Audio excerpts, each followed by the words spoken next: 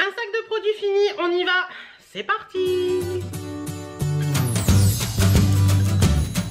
Coucou, j'espère que vous allez bien. On se retrouve aujourd'hui dans une vidéo qui va parler de produits finis. Euh, il y a beaucoup de y a beaucoup de soins, mais il y a aussi de la beauté, du make-up, etc., etc. Donc avant tout je tiens à m'excuser pour hier puisque vous n'avez pas eu de vidéo. J'ai quasiment, j'ai franchement pas eu le temps de publier une vidéo hier. Donc voilà, vous n'avez pas eu de vidéo jeudi mais on est vendredi Vous aurez cette vidéo puisqu'on est aujourd'hui le jour où je vous on est vendredi, le jour où vous verrez cette vidéo, voilà je la tourne le matin même. Euh, J'espère que tout va bien pour vous, que la semaine s'est bien passée. C'est marrant parce que d'habitude j'ai toujours des vidéos programmées donc là c'est au jour le jour. Donc je peux dire j'espère que pour vous la semaine s'est bien passée Que le week-end s'annonce plutôt bien. Donc voilà je suis contente de vous retrouver aujourd'hui. Allez on y va c'est parti, je commence. J'ai terminé une bouteille d'extrait de pépins de pamplemousse euh, de la marque VitaVA J'essaie de vous mettre des liens un maximum en barre d'infos comme d'habitude. Celui-ci donc ça ça aide euh, pour les défenses naturelles, donc pour les défenses immunitaires, dedans vous avez également de la vitamine C et ça c'est euh, mon go-to depuis, euh, depuis deux ans maintenant, hein, puisque la pandémie va faire bientôt deux ans. Je le prenais bien avant. Mais je le prenais en cure de 3 mois au moment de l'hiver etc. Là je le prends toute l'année, une cuillère à café le matin et franchement ça m'aide beaucoup. Déjà il y a de la vitamine dedans donc ça aide un petit peu à, à se dynamiser etc et la vitamine c'est bon. Et en plus de ça euh, bah, ça aide aux défenses naturelles. Donc voilà. L'extrait de pépins de pamplemousse moi c'est devenu un indispensable dans ma vie. Et euh, voilà. Donc je vous mets un lien en barre d'infos si ça vous intéresse de tester. Testez-le et vous m'en direz des nouvelles. Et ceux qui l'ont testé dites-moi un petit peu si ça, si ça fait quelque chose de bénéfique sur vous ou pas. En tout cas moi depuis que je prends l'extrait de pépins de pamplemousse hors pandémie avant tout ça euh, j'étais beaucoup moins malade que quand j'en prenais pas. Donc voilà. Ensuite alors là j'ai plusieurs paquets. Je les sors tout de suite. Ce sera réglé. J'ai déjà des paquets de coton à démaquiller euh, bio label de chez Intermarché. Donc j'en ai deux. Je les aime bien ceux-là les cotons, les cotons bio à démaquiller euh, de chez Intermarché. Je sais pas pourquoi je préfère les cotons bio maintenant que les cotons normaux. Mais quand j'en trouve pas bah là vous voyez il y a label euh, en normal. Et il y a également que j'avais acheté en gros lot parce qu'à un moment ils étaient en promo les pommettes maxi carré visage et corps. Donc voilà j'utilisais ceux-là aussi. Alors des cotons à démaquiller j'en utilise vraiment que le matin avec ma lotion. D'ailleurs la lotion je vais vous en parler parce que j'en ai là avec ça en fait. Euh, les cotons à démaquiller je les utilise pas pour me démaquiller le soir parce que j'utilise des cotons à démaquiller lavables. Mais pour mettre ça, les, brumes et tout ça je préfère le coton à démaquiller euh, jetable parce que je trouve que sur un lavable on en utilise beaucoup plus. Donc voilà. Alors cette brume c'est l'Aqua Reftu de chez Garantia. C'est celle-ci, j'en ai deux bouteilles parce que j'en ai une qui était pas totalement finie lors des derniers produits finis et que j'ai fini et que j'en ai commencé une autre le jour d'après je crois je sais plus bien.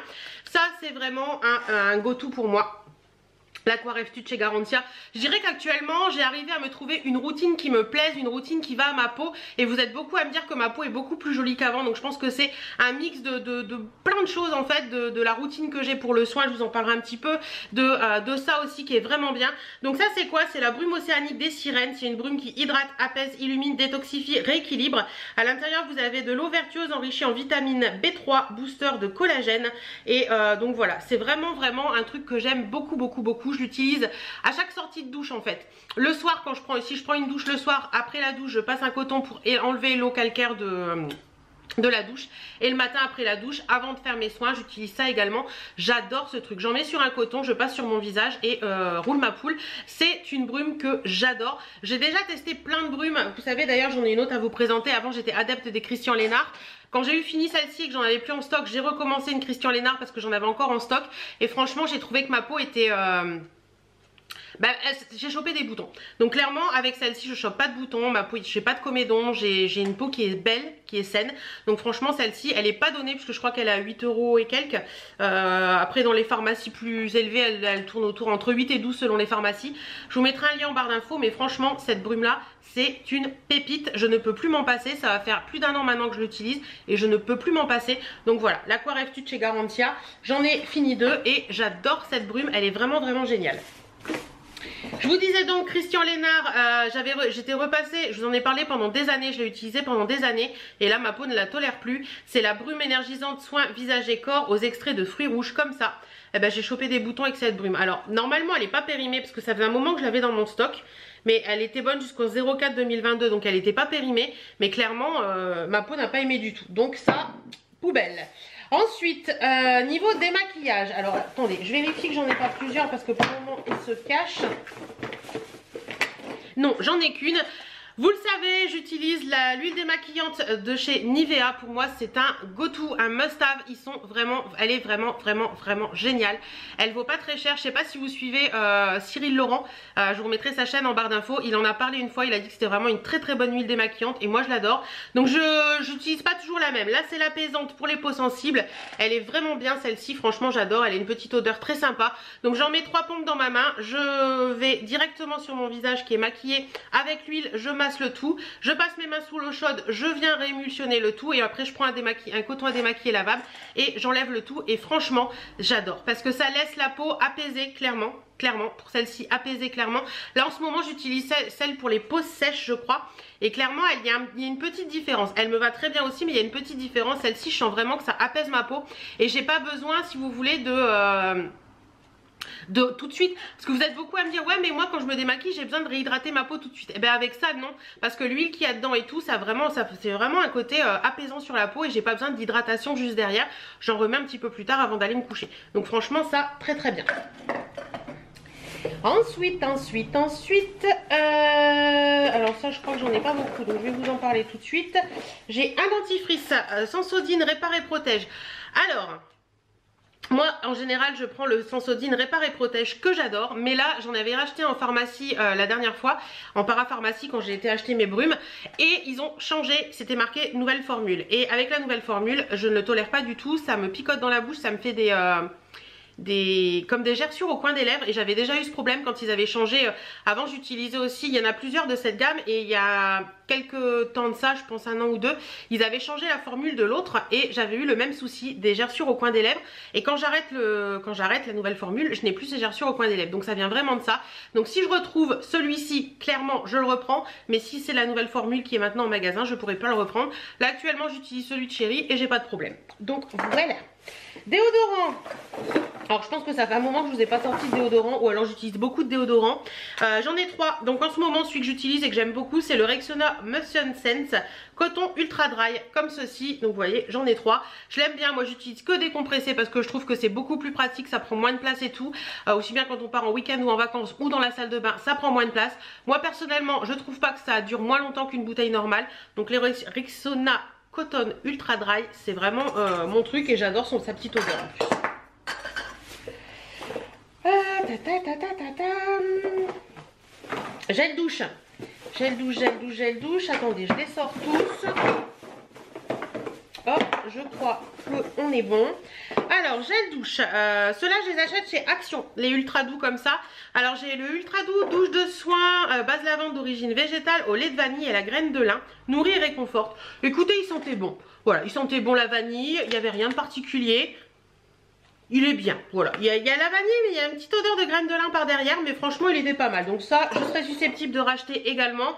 J'ai également utilisé la Garnier Ultra Doux Douche Soin euh, Bio, Délice Biomel de Provence et Fleur d'Oranger, celle-ci. Voilà. Très très bien aussi. Bonne petite odeur de, miel et de fleurs d'oranger, de fleurs d'oranger, moi j'aime bien. Donc ça pareil, je serais susceptible de racheter également. Toujours en gel douche, j'ai utilisé de la marque I Love Bio by Léa Nature le Dur le réveil gel douche shot de citron. Donc c'est avec du parfum et des lavants naturels, du gel d'aloe vera et de quoi les stabiliser et c'est tout. Donc c'est cruelty free, vegan et bio et franchement j'ai beaucoup aimé. Ouais, j'ai bien aimé, il avait vraiment euh, ce petit côté euh, très boostant du matin avec sa petite odeur de citron un citron un peu naturel, vous savez pas le citron un peu chimique et franchement j'ai bien aimé donc ça euh, si j'en retrouve je serais susceptible de racheter aussi, j'ai ouais, bien aimé. Ensuite, oups là, il a failli tomber. De chez Dove, je les achète chez hum, Action aussi, ceux-là. Le surgras ou en magasin, mais la dernière fois je l'avais acheté chez Action. Le Dove surgras, peau sèche, nourrit et protège, 0% sulfate, euh, SLES, huile et crème. Celui-ci, je l'aime bien. Voilà, j'aime bien l'odeur des produits Dove.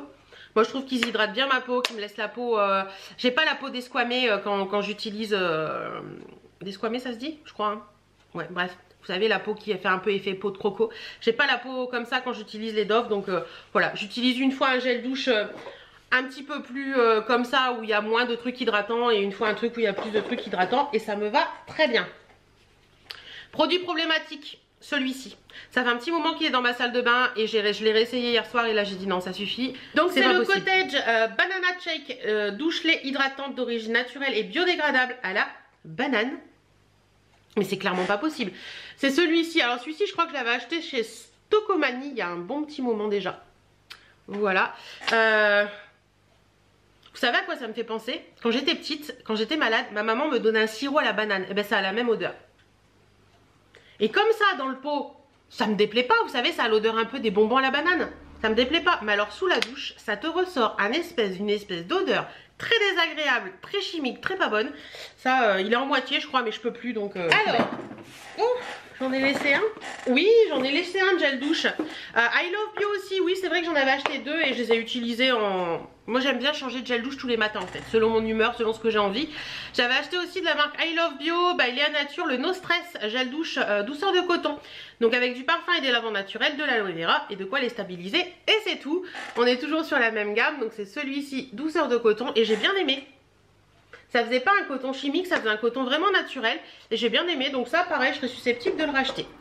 Ensuite, si vous me suivez depuis un petit moment, vous savez, enfin depuis un petit moment, depuis le début de l'année, puis la fin de l'année dernière. Vous savez que je suis passée à la coloration végétale sur mes cheveux, donc je n'ai plus le droit d'utiliser, enfin il faut mieux pas, en gros, que j'utilise des silicones. Donc j'avais terminé avant, euh, ma coloration végétale, j'étais déjà passée un petit peu au naturel avec euh, moins de silicone, moins de sulfate et tout ça, mais il me restait des petits shampoings à terminer. Donc j'ai fait au maximum de ce que j'ai pu, mais malheureusement là il y en a qui sont en moitié que je pourrais pas terminer.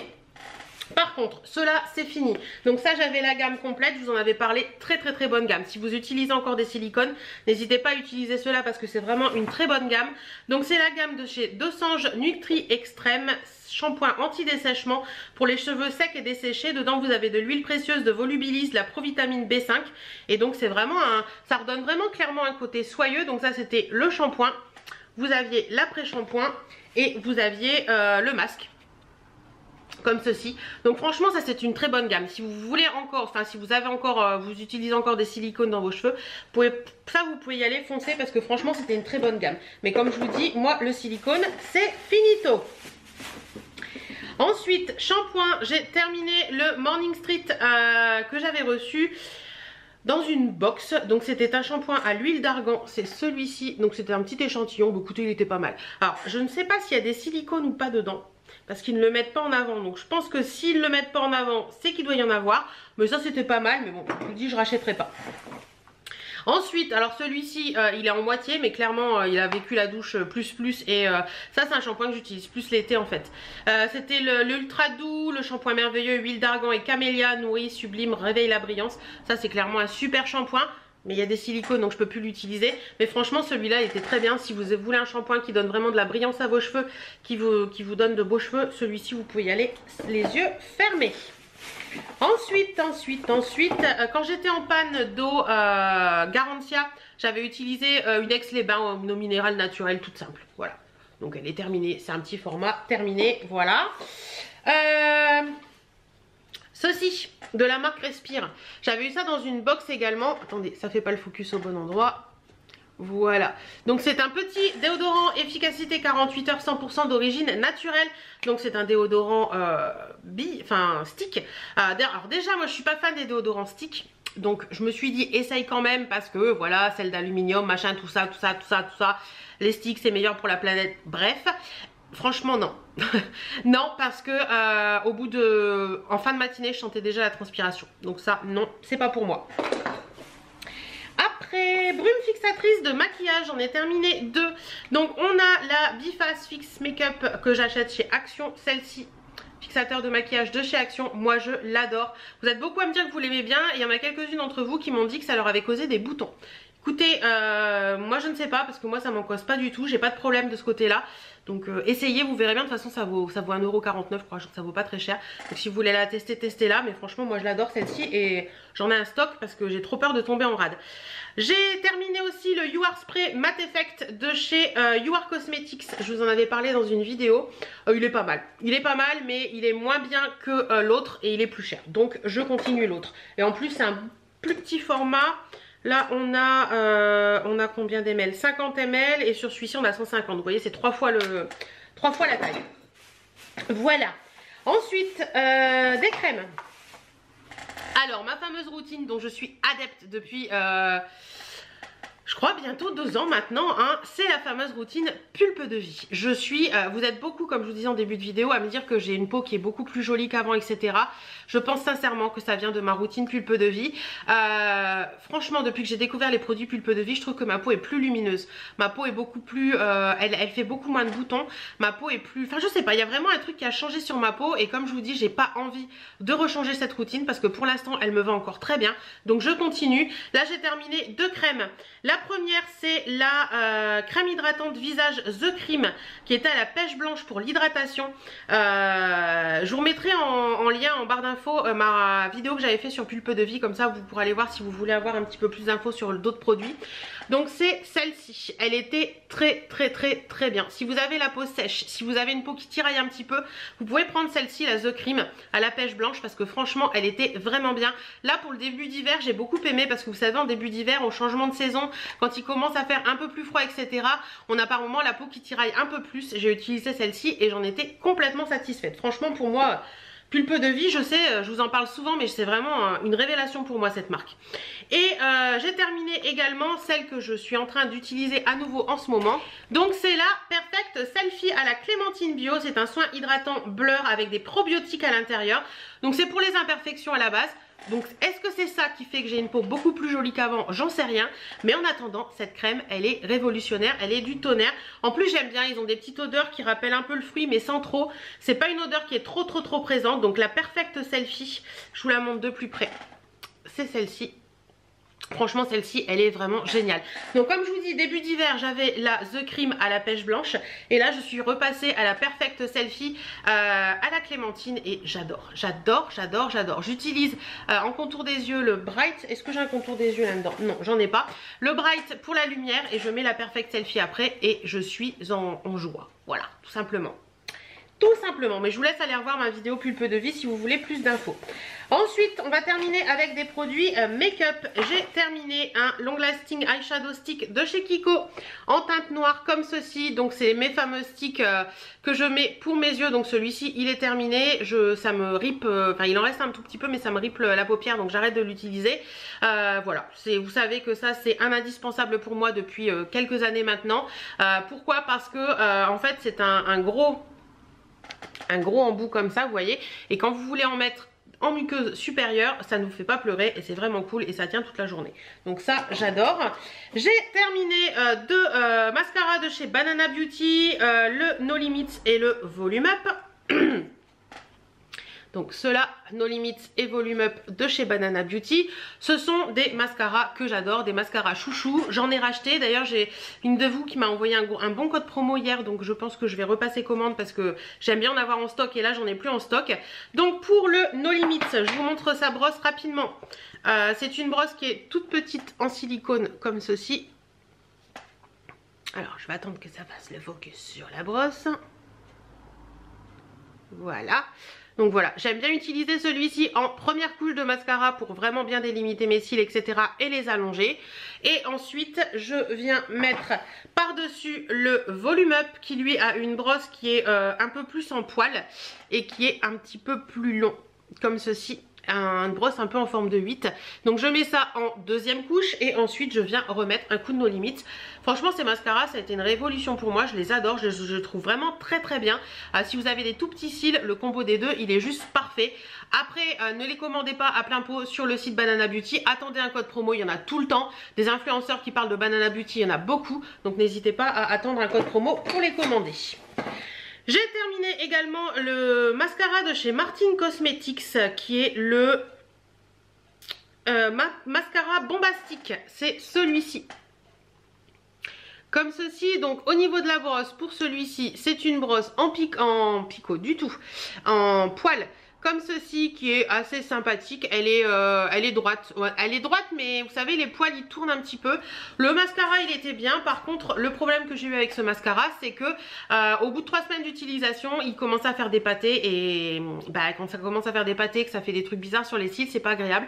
Donc euh, il est bien mais dans les premiers moments dans les 3 premières semaines après c'est plus bien Et le dernier mascara que je mets à la poubelle, c'est le euh, Sky High de chez Maybelline, cils sensationnel.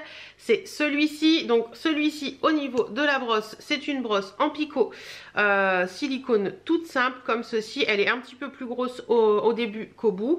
Euh, très, bon, très bon mascara également. Alors j'ai trouvé pour moi qu'il était tout à fait noir comme j'aime, mais franchement il était bien. Je l'ai fini jusqu'au bout, il a pas... Euh, vous savez par moment il y a des mascaras qui, sont, qui, euh, ont tendance à... Euh, à durcir un peu ou à faire des paquets et tout. Celui-ci, non du tout. Il a été pareil du début à la fin.